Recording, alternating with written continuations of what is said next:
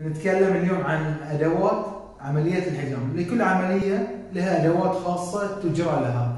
إحنا بنتكلم اليوم عن عملياتنا عملية الحجام اللي إحنا مختصين فيها. أدوات. عملية الحجامه هي كالتالي. كاسات الحجامة وأيضا المضخة أو الشفاط للحجامة وما يسمى بالصحن الكلوي أو كيدنيز تري والقطنة وشفرة الموس التي تستخدم للتشريب. هذا هو القفاز الذي يستخدم وأيضا نستخدم أيضا المناديل لمسح الدم.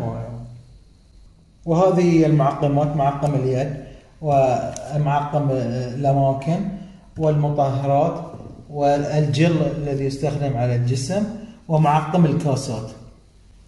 هذه معدات التخلص من النفايات هذه اللي تستخدم للشفرات وهذه تستخدم للنفايات الطبية تقذف فيها الدم والأمور التي متعلقة بأي أمر يحتاج في الدم.